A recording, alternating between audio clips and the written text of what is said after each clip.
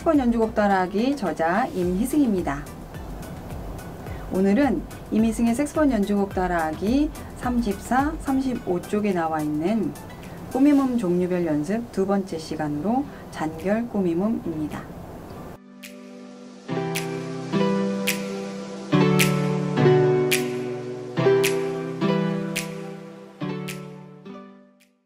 프랄 트릴러라고 하는 잔결 꾸미음은 원음에서 한음을 올렸다가 다시 원음으로 돌아와주는 꾸미음입니다. 키를 열었다가 닫아주는 운지이기 때문에 하프 운지를 적용하여서 빠르고 자연스럽게 표현해 줍니다. 하프 운지는 키를 열 때 반만 열었다가 닫아주는 운지입니다.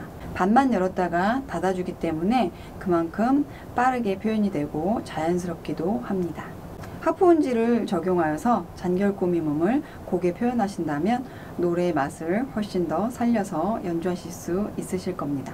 본 교재에는 하프온지가 필요한 부분에 동그라미에 반을 채워서 색칠을 해 놓았습니다.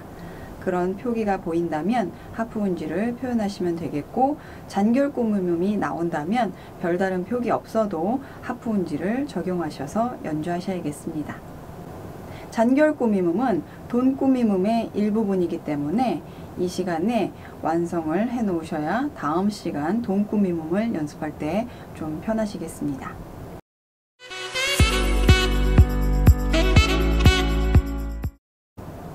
잔결꾸밈음에 나오는 behind position을 살펴보도록 하겠습니다.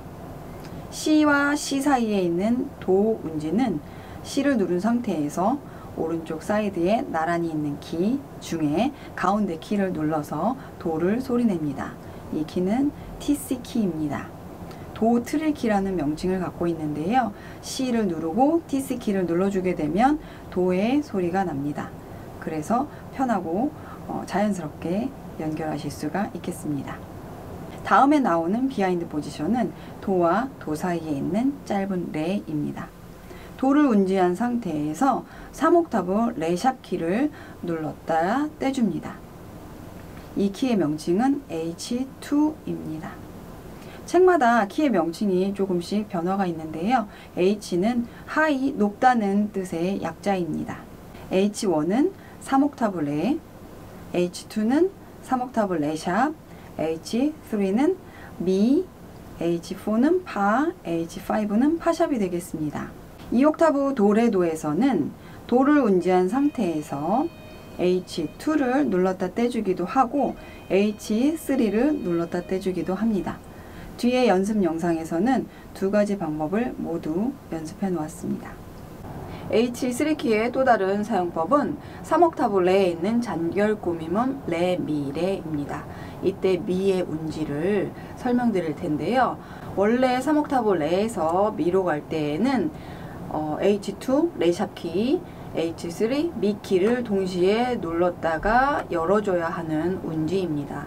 레, 미, 레인데 이렇게 짧게 어, 스치듯이 지나갈 경우에는 레를 운지한 상태에서 레 sharp 키 H2 키를 생략하고 오른손 H3 키만 살짝 눌렀다가 떼줍니다. 레미레 이런 표현을 하시면 되겠습니다. C 플랫이 나오는 F 키나 B 플랫 키에서는 C 플랫에 대한 운지를 petit키로 하시면 되겠습니다. C 아래 작은 키를 시와 함께 잡고 연주하시면 되겠습니다. 이렇게 대체 키로 알고 있는 behind position을 몇 가지 살펴보았습니다. 잔결 꾸밈음 연습하실 때 적용하시면 훨씬 쉽고 빠르게 연결하실 수가 있으실 겁니다. 뒤에 나오는 영상을 함께 보도록 하겠습니다.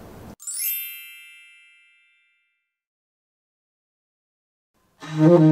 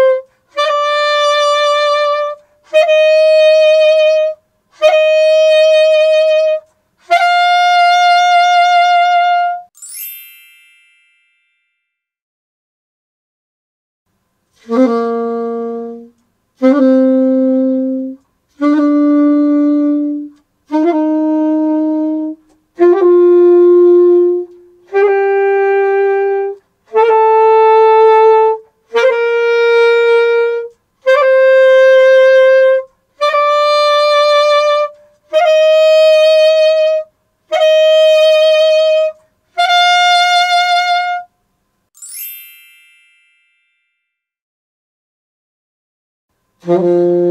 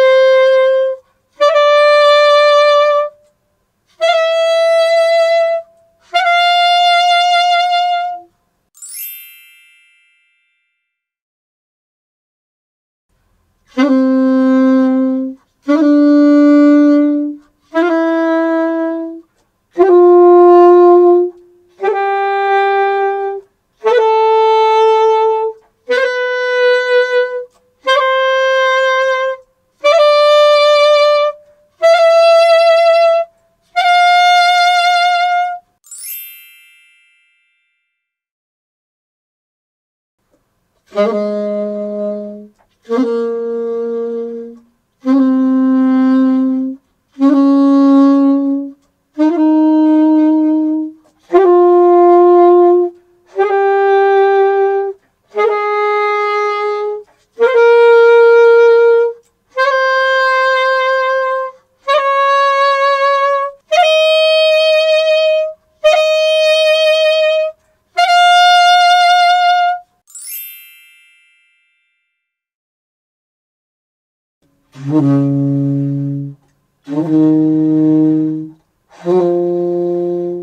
Amen.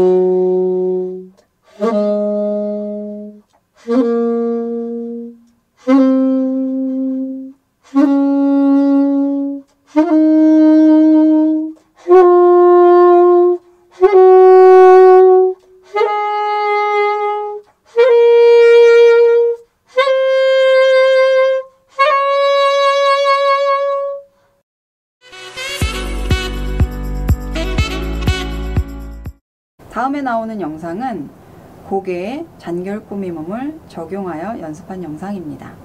참고해서 연습하시기 바라겠습니다.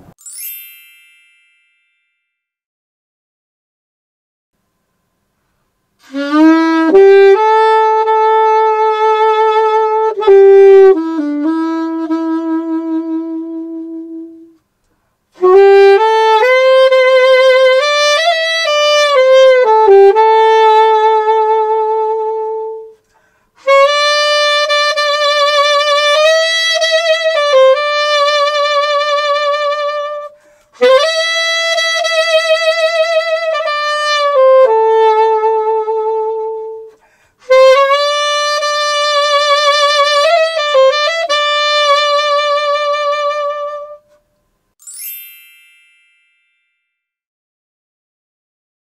Woo!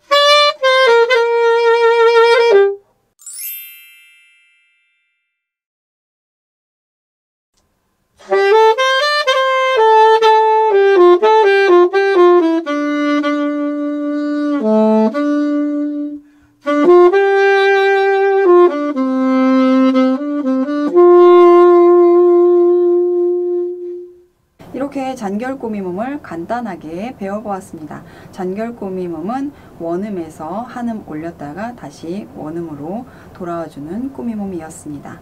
포인트는 하프운지를 적용하셔서 자연스럽고 부드럽게 연결해 주시면 되겠습니다. 키를 반만 열어준다는 것이 쉽지 않기 때문에 반복적인 연습을 통해서 완성해 가시길 바라겠습니다. 수고하셨습니다.